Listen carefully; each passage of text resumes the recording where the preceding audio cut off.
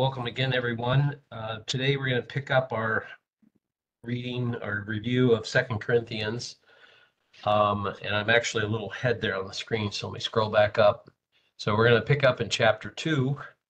By way of reminder, this book um, is a follow up, obviously, to the first letter that Paul wrote to the congregation at Corinth.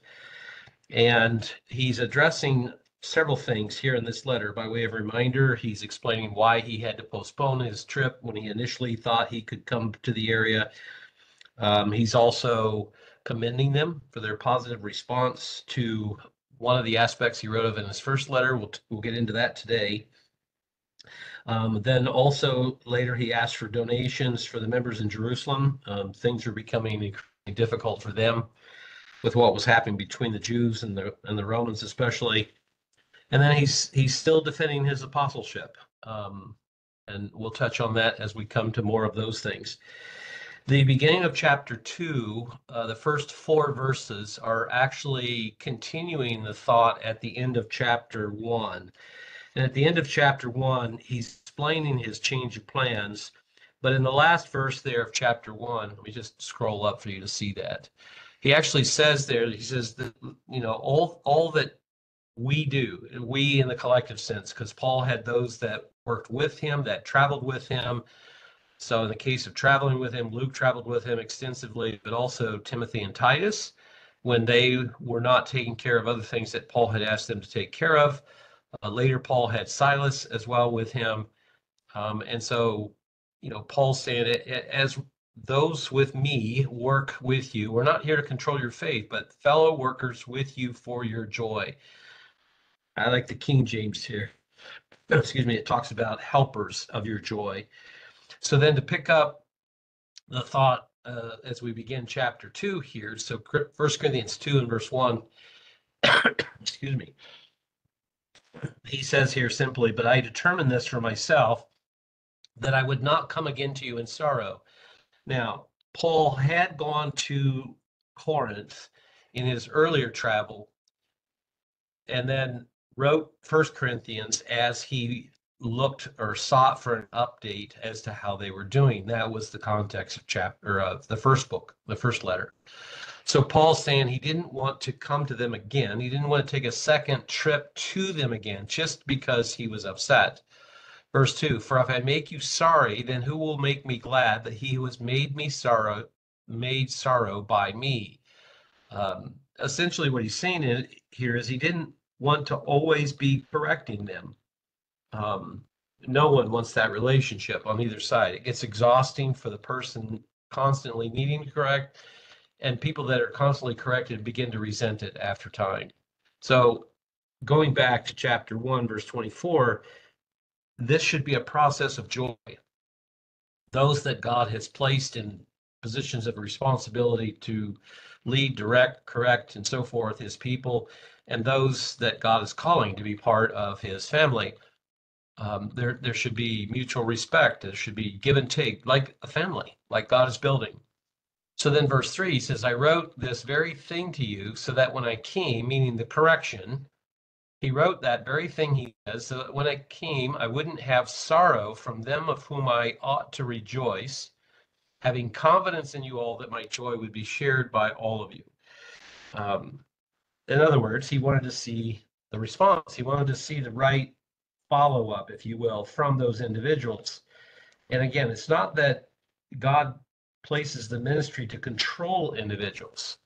The desire of, of a minister of God should always be to be helpers of their joy. And this is what Paul's talking about here that he wanted, when he finally was able to come, what he wanted to see is joy, confidence of, of their their calling, the response to the correction, and to see them growing in these things. Um, in Galatians 5:10, he wrote this.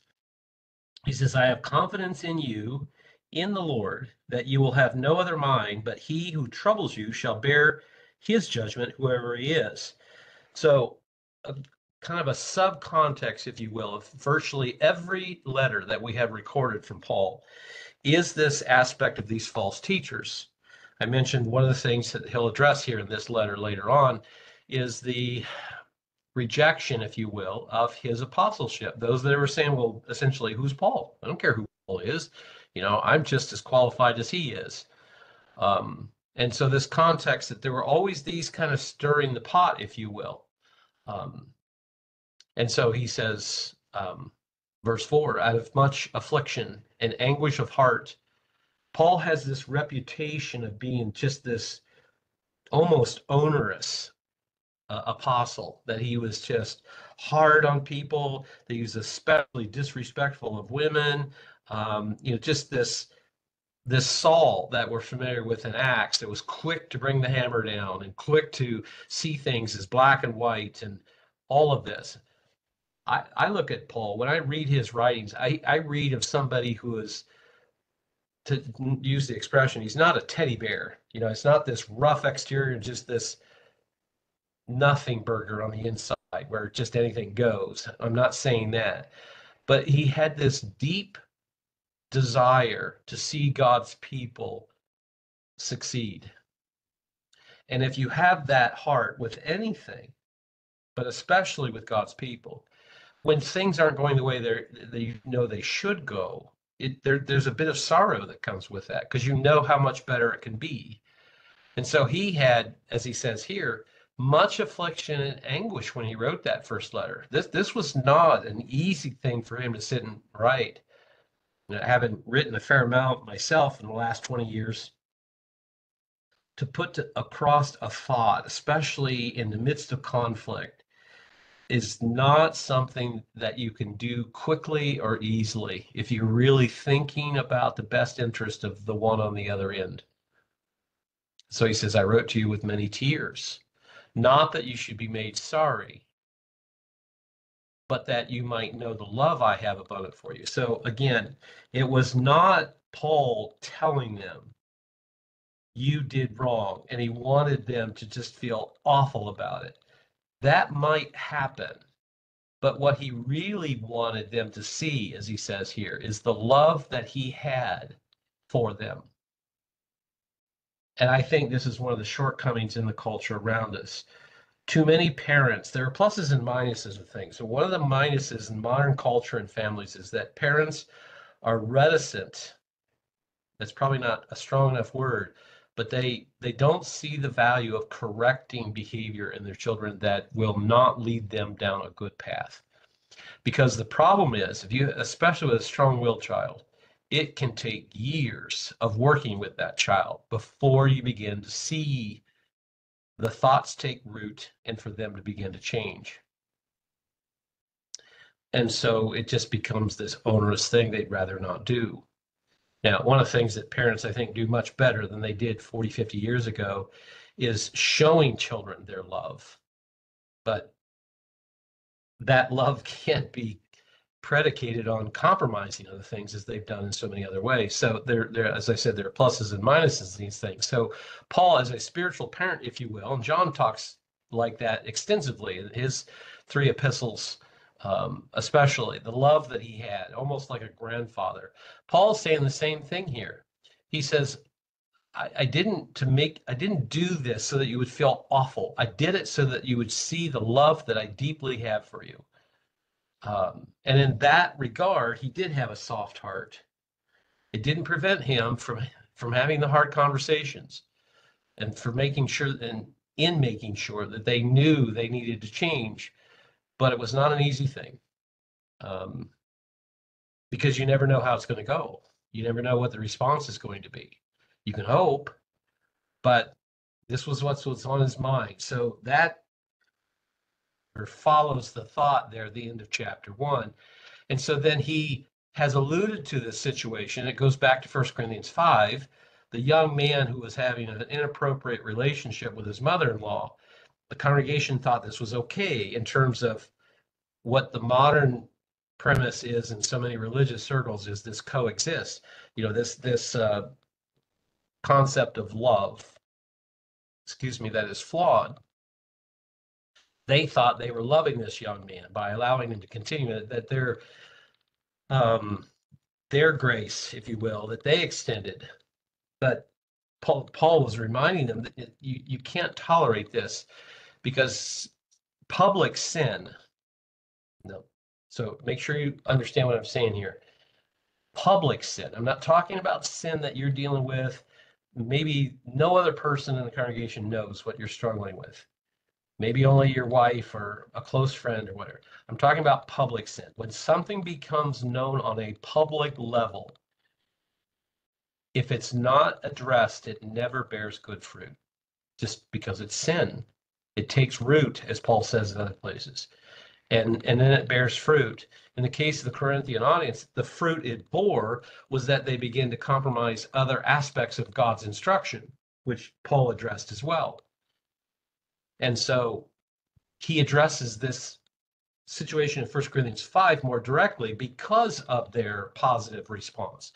So, verse 5 here, he says, But if any has caused sorrow, he has caused sorrow.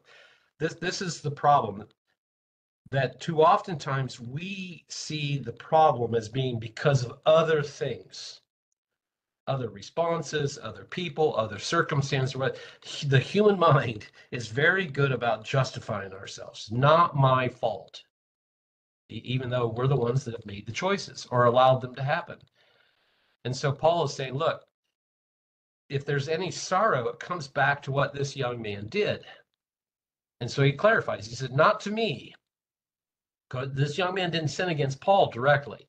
But he says, But in part, and I won't read the parenthetical right here for now, but in part to you all. The sorrow he caused was to the family at Corinth, the congregation at Corinth, because his sin, as I said, was well known, tolerated, and it caused, helped to cause, I should say, other issues. So let's read it with the other parenthetical thought.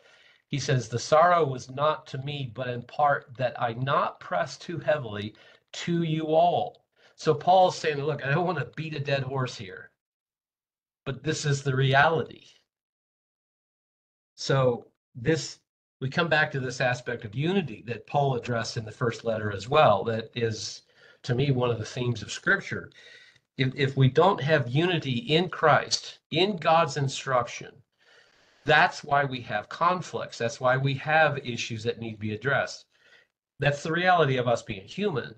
But with God's Spirit, we should be able to work through those things. We should be able to grow past them, if you will. And so that when we have these divisions, they have to be addressed. Sometimes they rise to a level, a congregational level, where they have to be addressed publicly. So let me skip ahead a little bit here and read a couple of verses. So you might see them on the screen there. Proverbs 10 and verse 12.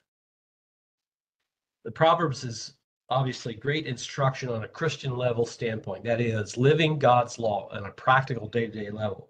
So when we have these kind of conflicts, when we know that there is sin involved, what is our response supposed to be from God's perspective? Proverbs 10 and verse 12, he says, Hatred stirs up strife. If there's anger, if there's animosity, if there's contention, if there's hatred, strife is the result. This conflict is wearing. The contrast in verse 12 here, Proverbs 10, verse 12, but love covers all sin. Now, in the modern context, even in, in Christian churches, unfortunately, they think love then means tolerance.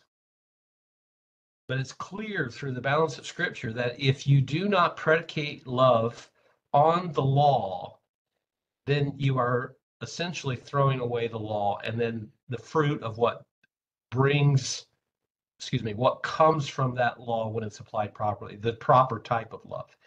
Paul exercised the proper type of love. He reminded them, you can't tolerate this. This young man has to be removed because this is going to continue to create other problems and add to other problems. So you have to remove him. What he doesn't say explicitly in the first book is, but you can't hate the young man. This is what he begins to come back to here. But let's continue the thought. This matter of love coming, covering sin. So if we go to Proverbs 17 and verse 9, excuse me, then he also, or uh, Solomon then he writes here as well. He who covers a transgression seeks love, but he who repeats a matter separates friends. What this proverb is referring to is the desire to protect someone so that they can repent and the sin doesn't define who they are. So I've had a few in the counselings for baptisms that I've done over the years. They've asked, Do I need to tell you all my sins? And I always tell them, Please don't. That's between them and God, especially if it's repented of. I have no business knowing. I, I don't have to know. If it's something they're still struggling with and they want help overcoming, then we can come to that point of the conversation. But this matter of love covering sin is allowing someone the space for repentance and growth. And then we don't repeat it. Even in the midst of a sin. The only time that that should be considered is when other people need to be involved to help the person overcome. So you may end up with a handful of people involved in whatever situation, but it doesn't go outside that circle any further. This is, we call it confidentiality. This matter of confidentiality in these conversations um, that you, you have, of course, included those that need to know in order to help potentially bring a positive outcome. But it doesn't become everybody's business. Um, this is why gossiping is so bad as well, that Proverbs touch on as well. Um, Galatians 6 and verse 1. So Paul's beginning to set the stage here to, to help them see this aspect of love as it's properly defined, but then to also allow this young man to be where he needs to be. So in Galatians 6 and verse 10, it says, Therefore, as we have opportunity, let us do good to all, especially to those who are of the household of faith. So let's continue in verse 6, 1 Corinthians 2, verse 6. Paul then begins to address, go, go, goes back, if you will, to his first letter, 1 Corinthians 5, to talk about this matter of this young man and his mother in law. He says, This punishment which was inflicted by the many is sufficient for such a one. So the congregation agreed with Paul. This young man could no longer fellowship with us, attend with us on the Sabbath, because he needs to work on overcoming this. And I suspect just knowing the times I've gone through that was probably a very hard thing for them because they feel like they're just punishing him, throwing him out.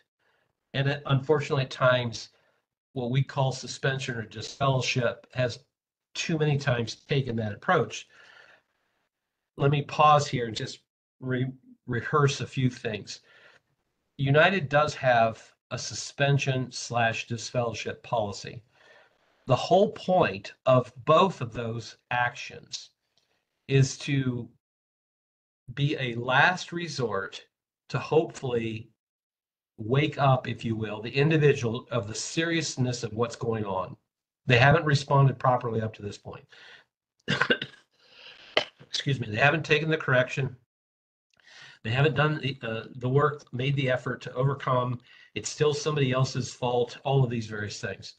Suspension is meant to be a less drastic response. Essentially, I would go to a person as a pastor, as an elder, and say, look, this has got to change. And for now, you can't be here. You and I will talk. You can set up a plan to do that, to stay in touch. I'll help you. You know, we can sit down, we can make a plan. I can remind you of the things that you need to do in terms of overcoming and why but until until I see repentance, you're not coming back. Disfellowship is a more permanent action because even suspension has not motivated the individual for change. At which point you simply tell them you're not welcome to attend here anymore. Now, in our history, especially going back into the Worldwide Church of God, we would have another step called marking. And Paul mentions that in other places as well, where he identifies specific individuals and we did do that. And I don't know that that's publicly necessary. We, to my knowledge, have never done it in United. Um, but it is still part of that process, if you will, of disfellowshipping. There should always be given allowance, if you will, for an individual to repent, to change, and if we see that, for them to be welcomed back to the fellowship. So keep that in mind as we walk through this next section. So verse six, to repeat, this punishment which is inflicted by the many is sufficient for such a one, So that on the contrary, you should rather forgive him and comfort him, lest by any means such a one would be swallowed up with his excessive sorrow. So the punishment is whatever the punishment is, even in child rearing, the punishment should always, one, fit the infraction, but the punishment should also be explained in terms of why the punishment came and what should change. So this is what Paul's addressing here. Okay, the punishment was exacted. This young man was told not to come. He had to change, stop the behavior. But he says, look, now that he has, and that's why I read Proverbs 10 and 17, Galatians 6. Now that he has shown repentance, then you should forgive him and comfort him. As a pastor, I have to accept when someone says to me, I've repented of that because I can't know their heart the way Christ can. So I, I have to accept that unless or until they show me that it wasn't true or that it wasn't permanent. Because I can't read their heart, I can only go on what they say and hope that the fruit then follows. And this is what Paul's talking about forgive him. We don't forgive him in the sense that we make the payment. We have now uh, applied Christ's sacrifice. That is, we don't hold anything back in terms of someone being part of our fellowship now. Comfort him. Change is always hard, no matter what we're talking. It's especially hard when you're confronted with something. I'll, I'll use the term of a character nature that kind of hits at our identity and it's perhaps core in in some ways or at least affects the core aspects of who we are, that that is overwhelming. And so to go through that and to be isolated, this is the comfort Paul's talking about. To, to ostracize somebody long term doesn't help if they're trying to change. If they're determined not to change, then it's the protection of the family. They, they can't be there. So he didn't want them to continue this rejection, this putting out, if you will, because he didn't want him to be swallowed up, as he says, with excessive sorrow. So once the person has is showing fruit of repentance, then there should be restoration, there should be forgiveness, and the sin, as far as we're concerned, it's not brought up anymore, ever. So, verse 8, he says it much clearer and direct here. Therefore, I beg you to confirm your love towards him. And love is known through our actions. We, we say the words, we can apologize, we can tell someone we're happy to see them change, we'd love to see them back at church, all these sort of things. But the actions are what validate those words. So he says, I beg you to confirm this, show him Verse 9 For to this end I also wrote, that I might know the proof of you, whether you are obedient in all things. So he wrote it waiting for their response, hoping that as called out members of the bride of Christ, as initial members, if you will, of the family of God, this is what he hoped would happen. The proof of you again, our actions is what are what show each other and God whether the words we say are true. And it's not the words are not important, but the words have to be backed up with actions. So he says, whether you are obedient in all things. So they were. They they put this individual out. The matter was addressed. The individual was repentant, remorseful. And so now he's saying, okay, th- this is what I wanted to see, so welcome him back. Verse 10 Now I also forgive whomever you forgive. So Paul was, to kind of use an 1800s term, he was an itinerant pastor. He rarely stayed in areas long enough. Ephesus was one of the few exceptions where Paul stayed for a long period of time. Mostly, he was like a senior pastor, to use our modern term in United, where he oversaw other pastors. And so he's saying here, um, if you have made this decision and you see this fruit of repentance, then I accept that. I accept what you're telling me, which engenders trust, doesn't it? Again, going back to the end of chapter one, Paul says, I'm a helper of your joy. So he's not micromanaging things. This is another aspect of why I say Paul, in my mind, Paul gets a bad rap. He's not this overbearing, micromanaging, controlling individual. So he says, If you forgive him, I do as well. For if indeed I have forgiven anything, I have forgiven the one for your sakes in the presence of Christ, because of the restoration. If if Paul's saying, if you see these things and he's being restored, then why would I not? Why would I not want to forgive this individual and allow them to move forward?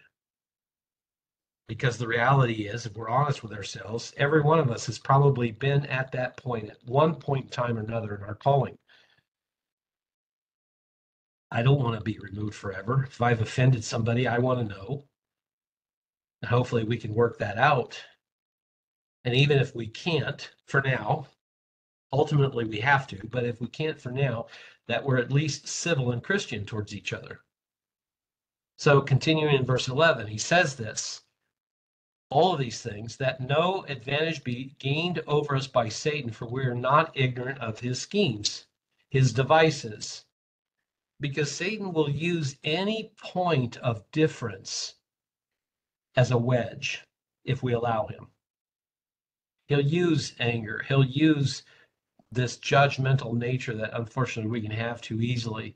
He'll use this condemnation, he'll use bitterness, at any point of division He'll use those things to destroy any unity we might have. He doesn't care what it is, as long as he can compromise our unity with each other and with God, especially. So he says, Look, I'm a big part of this. I'm, I'm really grateful for. I'm happy to see because I don't want Satan using this as a point to continue this division. So he trans uh, transfers on or segues, I guess a better word, into another thought here. He says, Now, when I came to Troas for the gospel of Christ, gospel is simply teaching that has been unfortunately misused in the greater Christian context. It's not the message of Christ, it's the message he brought. So, the gospel of Christ, he says, when I came to Troas and when a door was opened to me in the Lord, I had no relief from my spirit because I didn't find Titus my brother, but taking leave of them, I went out to Macedonia. God directed him through his spirit, Paul, directed Paul through God's spirit to postpone this trip. This is going back to one of the things he's addressing in this letter, is the reason why. Excuse me, why he was delayed. So he says, I was hoping to have Titus with me, but I didn't but I needed to go to Macedonia. Now, there's questions you can read in the commentaries. Uh, it seems that Paul was expecting to meet Titus as he was coming from Corinth after Paul wrote the first letter. Evidently, Paul heard of the result of that letter either from Titus later on or for someone else but again, this is part of why he was delayed. In verse 14, then he says, And now thanks be to God, who always leads us in triumph to Christ. And this even goes back to this matter of this young man, 1 Corinthians 5, and what Paul addressed in the previous verses that we just rehearsed. If we allow God to work through us, if we follow his law, if we apply that with his spirit, if we then allow trust, I guess is what I really mean. If we trust God then to work with us properly, it will always come out to the best response, the best outcome possible. This is what Paul is saying. So it does build on what he said before. God always leads us in triumph. Satan and, and the Father, especially, but God in general, Jesus Christ and the Father, they could not be more polar opposites than they are. Everything that God does is seeking to edify and build us up and lead us into his family. Everything Satan does is destructive, divisive, and seeks to remove us from a relationship with God. So if we keep that in mind, then, even in the midst of really terrible things in our lives, we can have the confidence that God will triumph in these things. He'll bring to pass what we need to see, what we need to learn. The result of the trial physically may or may not be resolved, meaning go away. But in the end, that doesn't matter because we also triumph in knowing that we're going to be fully, completely in God's family, eternal spirit beings with his mind. So he says, not only does he triumph in us this way, but he reveals through us the sweet aroma of his knowledge in every place. We begin to see God's hand in so many other areas of our life. When the, we're in the midst of anger and bitterness and division, we, we can be able to see these things. The still quiet voice that he talked about there with Elijah if there's the noise of our life, the noise of the world, the noise of Satan trying to influence our thoughts, we, we don't hear that. It's much, much harder to hear it. So Paul is a reminder here. He, he's bringing them back to some basics of relationships with each other and with God. So, verse 15, for we are a sweet aroma of Christ to God. Now, if you remember in the tabernacle and even later at the temple. There was the altar of incense, and that was to be constantly burning. We know from Revelation that God views our prayers as this incense. Because think about the, the globe, the world. There's always daylight somewhere, right? And ideally, that's the, the awaking portion of our our life, our daily life. And at some point, at least once a day, there should be some prayer there to God. And this is then, as the world revolves, it's constantly going up to God, is the way it should be. He wants that relationship with us. And so, even our actions as we live out our calling is much like those prayers where it's this sweet aroma to God because He knows where it will end. He knows what that will do for us and and and how we can come into his family. And so he says, we're this sweet aroma. You know, it's not bitter, it's not sour, it's not repugnant, it's sweet, it's it's pleasing. So verse 15, for we are a sweet aroma to Christ and God. We, as we live our lives, we're simply this.